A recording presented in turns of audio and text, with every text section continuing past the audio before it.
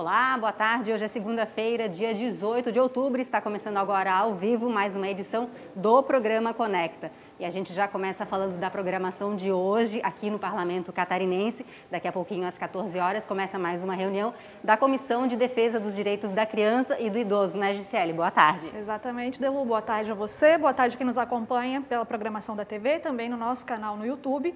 Hoje, logo mais às duas horas da tarde, nós já temos uma atividade programada aqui na Assembleia Legislativa, que é a reunião da Comissão de Defesa dos Direitos da Criança e do Adolescente, comissão essa que é presidida pela deputada Marlene Fengler.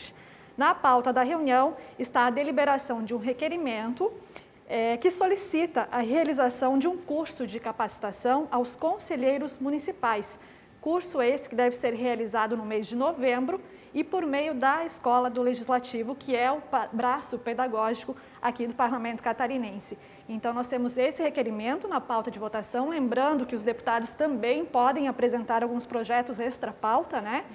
E essa atividade, que começa logo mais às duas horas da tarde, terá transmissão da TV da Assembleia Legislativa, também no nosso canal no YouTube, e a cobertura completa também de tudo que foi deliberado discutido no âmbito dessa comissão que se reúne, então, logo mais às duas horas da tarde. É, Gisele, você falou que esse requerimento pede esse curso que deve ser realizado através da Escola do Legislativo, que inclusive está realizando alguns cursos sobre violência contra a mulher. Né? Na semana passada a gente já viu que teve o primeiro e na tarde de hoje deve acontecer o segundo curso, né? É isso mesmo, Delu. A Escola do Legislativo, em parceria com a bancada feminina aqui do Parlamento Catarinense, está promovendo um ciclo de palestras com foco no, na prevenção, no combate à violência contra a mulher em Santa Catarina. E hoje à tarde há uma, um desses eventos, né, uma palestra que será presidida pela professora Tami Fortunato e a atividade começa às 4 horas da tarde com transmissão pelo YouTube da Escola do Legislativo. Então, você que tem interesse nessa temática, não só o público feminino, né? Acho que é um assunto que tem que ser tratado por toda a sociedade, né? Infelizmente, nosso estado ele é considerado um dos mais violentos do país e a Assembleia Legislativa tem trazido essa pauta da prevenção à violência contra a mulher com bastante é, frequência, com bastante ênfase, né? Tem sido uma pauta permanente aqui no Parlamento Catarinense. Então, hoje, mais essa palestra, mais esse evento com transmissão pelo YouTube da escola e com debate hoje especificamente sobre violências domésticas e feminicídio. Então, um assunto bem importante, né? Lembrando que as pessoas que participarem, que tiverem uma carga horária cumprida, ganham um certificado de participação, né? E essa atividade, então, pode ser acompanhada no YouTube, escola.alesc.sc.gov.br barra eventos para fazer a inscrição e no endereço no YouTube é a Escola da Alesc. Isso na tarde de hoje, né? E no final do dia de hoje, às seis e meia da tarde, se não me engano, né, Gisele? Acontece uma audiência pública sobre a situação do Centro Universitário Municipal de São José. Corre o risco de ser fechada, é isso, né, Gi? Isso mesmo, Delu. A Prefeitura de São José, aqui na Grande Florianópolis, anunciou o fechamento da instituição no dia 17 de agosto, após uma recomendação do Ministério Público de Santa Catarina, recomendação essa que foi feita em julho deste ano, e há agora, então, uma discussão em torno dessa possibilidade desse fechamento da instituição. A deputada Luciane Carminati, presidente da Comissão de Educação da Assembleia Legislativa, propôs a realização desse debate para ouvir entidades, para ouvir a comunidade, né, e para verificar os impactos desse fechamento, é, não só né, para o município, para todos os estudantes que frequentam essa instituição, que foi fundada em 2005 e é mantida pelo município de São José, ofertando atualmente quatro cursos gratuitos de graduação. Então, esse debate será realizado logo mais às seis e meia da tarde, também com transmissão no canal do YouTube aqui da TV da Assembleia Legislativa. Falando em canal do YouTube, né, das nossas redes sociais, agora a gente tem a participação do Tiago, que vai contar para a gente o que está acontecendo de mais destaque nas redes sociais aqui do Parlamento. Boa tarde, Tiago. Certo. Boa tarde, Delu. Boa tarde, Gi. Boa tarde a você que nos assiste. Deputado na rede de hoje é com o deputado Márcio Machado, do PL. O deputado destaca uma proposta do governo do Estado que vai incentivar a ampliação do acesso à internet nas áreas rurais de Santa Catarina. É o projeto de lei 248 de 2021, que, na prática, a proposta do governo autoriza as distribuidoras de energia elétrica uh, que elas façam compartilhamento da sua infraestrutura, né, para que sejam passados cabos né, de fibra ótica das companhias de telecomunicação para levar a internet, então, para o meio rural.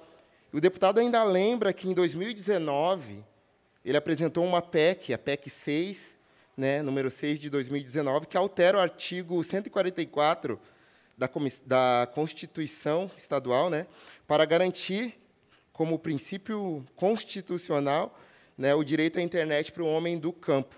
Né. O projeto do governo ainda vai passar por algumas comissões. Hoje ele está na comissão de finanças, né, e precisa passar por algumas comissões para que ainda seja votado em plenário. Se você quiser saber mais sobre o deputado Márcio Machado, né, sobre esse projeto de lei né, do, do, governo, né, que ele destacou, você pode chegar né, na nossa rede social, né, Assembleia SC, ou na rede social do deputado, que é arroba Márcios Machado. Não é só o deputado na rede, né? Traz também os destaques das redes sim, sociais, que está mais repercutindo, né, Tiago? Verdade, Gi. Então, um destaque das redes, nós temos o fechamento do comércio, né? Uh, a Assembleia aprovou um projeto de lei projeto da deputada Ana Campanholo, né, que determina o seguinte, né, ela, ele visa impedir o fechamento do comércio pelo governo do estado durante pandemias, né, sem uma prévia reunião com os empregadores e com os empregados do setor, né. Então, no texto dela determina que isso seja feita, seja feito no mínimo 48 horas antes, né, para uma negociação, né, para ver as as partes, né? É para verificar os impactos, né, do fechamento antes de se fechar, antes de partir para a ação, fazer essa reunião prévia com todos os setores envolvidos, né, para avaliar bem os impactos. Pelo menos é isso que propõe Exatamente, o projeto. né? Apresentação também de embasamento científico, né, e de saúde pública para que haja, né, então, um consenso do fechamento do comércio, né? E além disso, o projeto da deputada Ana, ela ela, ela fala né, que deve ser criadas alternativas né, para essa crise econômica e o desemprego no Estado. Né? Você pode conferir também isso né, lá no nosso Instagram, que é o arroba Assembleia SC, e também no nosso Facebook, né, que é Assembleia SC. Por hoje era isso, meninas. Volto com vocês. Perfeito. Obrigada, Tiago. Muito obrigada. A gente acompanhou, então, a fala do Tiago sobre esses projetos que tramitaram aqui, inclusive esse da deputada Ana Campanholo, sobre o fechamento do comércio. Foi um projeto que foi aprovado por unanimidade, recebeu o apoio de todos os demais deputados e também está tramitando aqui na Assembleia Legislativa um projeto de lei do deputado Adrianinho, que é o deputado suplente, que está aqui na casa agora nesse momento, né, falando sobre a isenção em concursos públicos para pessoas que doarem leite materno, né, Gisele? É isso mesmo, Delu. Já existe uma lei que oferece esse benefício aos doadores de sangue, aos doadores de medula óssea. E agora, então, o deputado Adrianinho propõe essa alteração para incluir também nessa isenção, isenção do pagamento de taxas em concursos públicos para as mulheres que fazem doação de leite aos bancos de leite de Santa Catarina. O deputado, inclusive, trouxe um dado bem interessante no seu pronunciamento. Ele fez usou a tribuna na semana passada para pedir apoio dos deputados, né, tendo em vista que foi um projeto protocolado.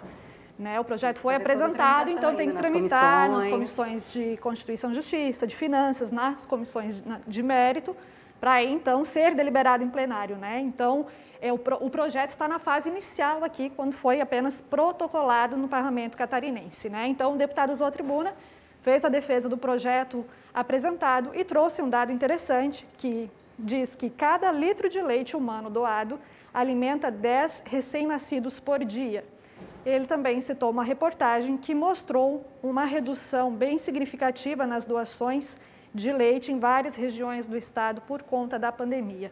As pessoas ficaram mais receosas, ficaram mais isoladas em casa e houve então um impacto também na doação de leite materno. Para estimular então esse gesto, o deputado propõe esse benefício é, garantindo né, as, as doadoras de leite a isenção dessa taxa para concursos públicos. Lembrando que esse projeto, então, tramita aqui na Assembleia Legislativa e o deputado reforçou para a nossa equipe de reportagem a importância do projeto. Vamos conferir. Esta casa aqui tem se destacado, já, a gente já tem acompanhado em outras oportunidades, como a questão da criação do Maio Branco, dedicado à realização de ações para estimular as doações né, sobre a questão do aleitamento materno, nós apresentamos essa proposta legislativa para que possa ser é, ampliada essa discussão da doação do leite materno no estado de Santa Catarina. Então, nós ouvimos aí o deputado Adrianinho, do Partido dos Trabalhadores, e outro projeto que também está tramitando aqui na casa, né, Gisele, que começou agora a tramitação, foi apresentado pelo governo do estado e fala sobre o recebimento de benefício por parte das famílias que têm uma gestação múltipla, são vários gêmeos, é isso que inclusive já existe uma lei aqui já no estado, existe né? uma lei garantindo esse benefício, agora esse novo projeto do executivo, ele altera a lei garantindo algumas estendendo esse benefício em algumas situações. O projeto, então, ele, que atualmente está em tramitação aqui na Assembleia Legislativa, ele mantém o benefício no valor atual de R$ 508,60 para famílias com gestações múltiplas com nascimento a partir de três crianças, ou seja, a partir de três gêmeos e para cima, né? Garantido, então, esse benefício de R$ 508,60. O Executivo também está propondo nesse projeto de alteração a ampliação da data de limite de pagamento desse benefício. Atualmente é até os 12 anos de idade das crianças e aí ele está estendendo para os 18 anos de idade. Outra mudança também é que esse, o projeto, a lei atual prevê só para nascidos em Santa Catarina. Com a alteração, há garantia desse benefício para quem teve o bebê em outros estados desde que atualmente a família resida em Santa Catarina e desde que esse nascimento tenha sido feito em outro estado por recomendação médica ou por falta de leitos disponíveis na rede estadual. Então, é somente para essas situações, né? Mas hoje a lei é, prevê o benefício só para nascidos aqui em Santa Catarina. Esse projeto de lei está em análise, então, aqui no Parlamento Catarinense, atualmente está na Comissão de Constituição e Justiça, e deve ser analisado também pelas comissões de Finanças e Tributação e de Direitos Humanos. A relatora da proposta na Comissão de Constituição e Justiça é a deputada Paulinha. Ok. O GCL, outro assunto que deve ser discutido aqui no Parlamento, provavelmente a partir de amanhã, quando chega aqui na casa, a previsão né, é que chega aqui na casa que o governo do estado encaminhe o projeto de uma, da descompactação da tabela salarial do magistério, é isso, né? A isso expectativa mesmo, é que expectativa. profissionais no final da carreira recebam no mínimo 11 mil reais, né? É isso mesmo, há bastante expectativa por essa proposta, né? Inclusive havia a expectativa de que seria apresentado ainda no Dia dos Professores, comemorados na última sexta-feira, mas o governador anunciou então que deve encaminhar aqui à Assembleia Legislativa amanhã ainda esse projeto que prevê então um novo plano de cargos e salários do magistério. Há também a expectativa de que esse projeto ele atenda o que foi construído através da comissão mista que foi instalada aqui na Assembleia Legislativa provisoriamente, apenas para analisar prioritariamente esse novo plano de cargos e salários, ou seja, a comissão ouviu todo o setor, né, ouviu as entidades, sindicatos, para construir então uma proposta para apresentar ao governador todas essas sugestões. Então, as sugestões foram encaminhadas ao governador e a intenção então é de que elas sejam contempladas nesse projeto que deve chegar sim aqui na Assembleia Legislativa amanhã. Então, nós estaremos de plantão aqui, né, acompanhando todas as novidades, todos os desdobramentos para trazer em primeira mão a todos os catarinenses, principalmente aos profissionais do magistério, que estão na expectativa né, pela aprovação aí desse novo plano de cargos e salários. E o que mais que a gente pode destacar, então, na agenda dessa semana, GCL? A gente já falou do dia de hoje, né, o que, que vai acontecer, e a partir de amanhã, o que, que a gente tem na nossa agenda? Exatamente. Hoje, então, logo mais duas horas, reunião da Comissão da Criança e do Adolescente, temos às 16 horas essa atividade da Escola do Legislativo sobre violência contra a mulher e às 6 e meia, lembrando que tem essa audiência pública sobre a Universidade é, Municipal de São José.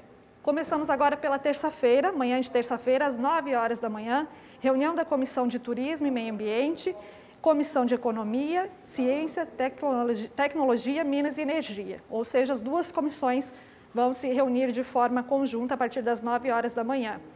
Ainda nas 9 horas, reunião da comissão mista, que analisa os projetos governamentais que tratam dos reajustes salariais para o funcionalismo público. 9 horas da manhã. Às 10 horas, reunião da Comissão de Constituição e Justiça. Às 15 para as 2, reunião da Comissão de Transporte e Desenvolvimento Urbano. Às 2 da tarde, sessão ordinária. E às 5 e meia da tarde, reunião da Comissão Mista, que vai debater o plano de cargos da Praça Militar e do Corpo de Bombeiros de Santa Catarina. Para quarta-feira, as atividades iniciam às 9 horas da manhã, com reunião da Comissão de Trabalho, Administração e Serviço Público, também às 9 horas, reunião da Comissão de Saúde, às 10h30, reunião da Comissão de Finanças, à 1 da tarde, Comissão de Pesca, às 2 horas, sessão ordinária, e às 6 da tarde, audiência pública, que vai tratar sobre a intervenção especializada de fonoaudiologia e terapia ocupacional para as pessoas com deficiência em Santa Catarina.